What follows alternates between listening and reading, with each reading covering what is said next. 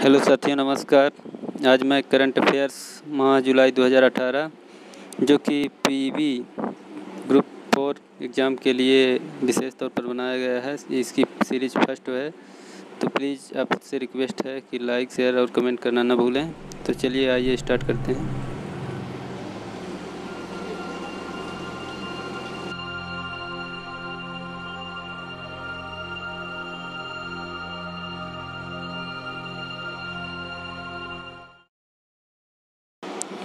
आज का हमारा पहला क्वेश्चन है, हाल ही में किस राज्य में अन्नपूर्णा दूध योजना शुरू की गई? इसका उत्तर है राजस्थान में। अन्नपूर्णा दूध योजना शुरू की गई है। इस योजना के तहत राज्य के विद्यालयों, मदरसों, स्पेशल ट्रेनिंग सेंटर्स में अध्ययनरत कक्षा एक से आठ तक के विद्यार्थियों को एक सप्ताह में उच्च गुणवत्ता के ताज़ा गर्म दूध उपलब्ध कराया जाएगा। कक्षा एक से पाँच तक बच्चों को 150 मिलीलीटर तथा छः से आठ तक विद्यार्थियों को 200 मिलीलीटर दूध दिया जाएगा। चलिए अगले क्वेश्चन की ओर बढ़ते हैं। हमारा अगला क्वेश्चन है, हाल ही में किस देश के प्रधानमंत्री चुनाव लड़ने की अनुमति प्रदान की गई है? दोस्तों, इसका उत्तर है पाकिस्तान के पूर्व प्रधानमंत्री शाहिद खकान अब्बासी को चुनाव लड़ने की अनुमति प्रदान की गई है। इससे पहले इस्लामाबाद हाई कोर्ट के चुनाव न्यायाधिकरण अब्बासी के चुनाव लड़ने पर आजीवन प्रतिबंध लगा दिया गया था, जो कि अब इन्हें अनुमति मिल चुकी है। अब्बासी इस फैसले से लाहौर हाई कोर्ट को चुनौती दी थी। चलिए, अब हम बढ़ते हैं अपने अगले क्वेश्चन की ओर। हमारा आज का अगला क्वेश्चन है, हाल ही में किस भारतवंशी को यूएसए डेमोक्रेटिक पार्टी की नेशनल कमेटी के सीईओ के रूप में नियुक्त किया गया है। इसका उत्तर है, भारतवंशी सीमानंदा को यूएसए में डेमोक्रेटिक पार्टी की नेशनल कमेटी के सीईओ के रूप में नियुक्त किया गया है। अगले क्वेश्चन की ओर बढ़ने से पहले हमारी आपसे रिक्वेस्ट है कि आप हमारे चैनल को लाइक करें और ज़्यादा से ज़्यादा फेसबुक, व्हाट्सएप ग्रुप पर शेयर करें ताकि ज़्यादा से ज़्यादा लोग लाभान्वित हो सके। तो चलिए दोस्तों, इसी आशा और के साथ आगे बढ़ते हैं। अगले question the spirit to serve पुस्तक के लेखक कौन हैं? द स्पिरिट टू सर्व पुस्तक के लेखक जे डब्ल्यू मैरियट जूनियर हैं। इस पुस्तक में बताया गया है कि मेहनत, दृढ़ता और अपने कर्म पर ध्यान ही सफलता दिलाती है।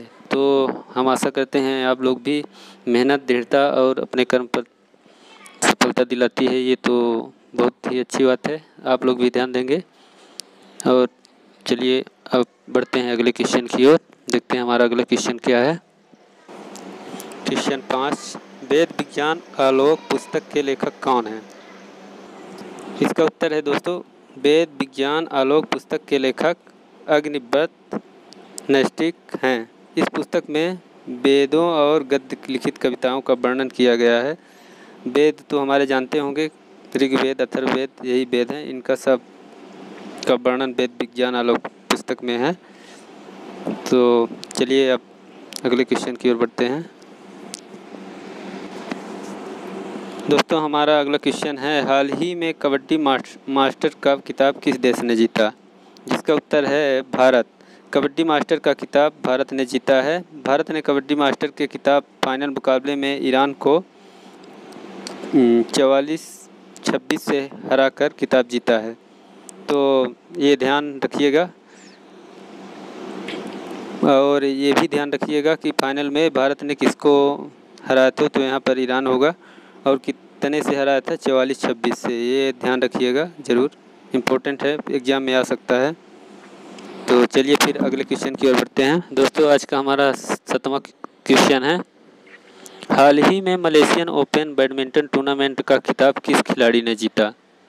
तो इसका उत्तर है, मलेशियन ओपन बैडमिंटन टूर्नामेंट का खिताब मलेशियन खिलाड़ी ली चिंग वेई ने जीता है।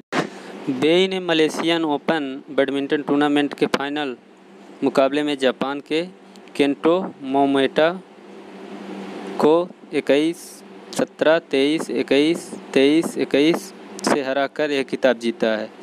बेई ने बारहवीं बार मलेशियन ओपन बैडमिंटन टूर्नामेंट का खिताब जीता है। तो ये ध्यान रखिएगा, बारहवीं बार और अब हम चलते हैं अगले क्वेश्चन की ओर। देखते हैं हमारा अगला क्वेश्चन क्या है। दोस्तों, हमारा अगला क्वेश्चन है, हाल ही में असर पंद्रह उत्सव कहाँ मनाया जा रहा है? जिसका उत्तर है, असर पंद्रह उत्सव नेपाल में मनाया जा रहा है। यह उत्सव मानसून में यहाँ की धान की बिजाई के जश्न के रूप में मनाया जाता है। तो ये ध्यान रखिएगा, एक यह नेपाल में मनाया जाता है और यह किस जश्न में मनाया जाता है? धान की बिजाई के जश्न में। तो चलिए अब अगले क्वेश्चन की ओर बढ़ते हैं। देखते हैं हमारा अगला क्वेश्चन क्या है। दोस्तों, हमारा अगला क्वेश्चन है, सिंध में पहला डाक टिकट कब जारी किया गया था? सिंध में पहला डाक टिकट कब जारी किया गया था? जिसका उत्तर है, सिंध में पहला डाक टिकट एक जुलाई अठारह सौ बावन में जारी किया गया था। सिंध में जारी किए गए डाक टिकट का नाम सिंध डाक टिकट रखा गया था। इसका नाम क्या रखा गया था? सिंह डाक। तो चलिए, आप इसको ध्यान रखिएगा, सिंध डाक। और अब बढ़ते हैं अगले क्वेश्चन की ओर, देखते हैं हमारा अगला क्वेश्चन क्या है। और ये आखिरी क्वेश्चन होगा। दोस्तों, आपसे रिक्वेस्ट है मेरी कि सब्सक्राइब और लाइक करना ना भूलें। तो प्लीज़ लाइक करें और शेयर करें और जितना हो सके कमेंट करें।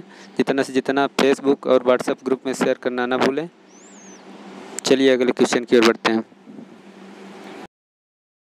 साथियों, आज का हमारा दसवां और आखिरी क्वेश्चन मक्का में सुरंग से जा रहे भक्तों में भगदड़ कम मची थी? जिसका उत्तर है, मक्का में सुरंग से जा रहे भक्तों में भगदड़ 2 जुलाई 1990 में मची थी। इस हादसे में करीबन 1400 लोगों की जान चली गई थी। प्रतिवर्ष दुनिया भर में 20 लाख से ज़्यादा लोग हज यात्रा करते हैं। हज में पुरुष दो टुकड़े वाला बिना सिलाई का सफ़ेद चोंगा पहनते हैं। महिलाएँ सफ़ेद रंग के खुले कपड़े पहनती हैं, जिसमें उनके हाथ और चेहरा खुले रहते हैं। तो ये ध्यान रखिएगा, डेट दो जुलाई उन्नीस सौ नब्बे। और अब आज का वीडियो मैं यहीं समाप्त करूँगा। और मैं आशा करूँगा कि आप लोग अगला वीडियो आने तक इंतज़ार करें।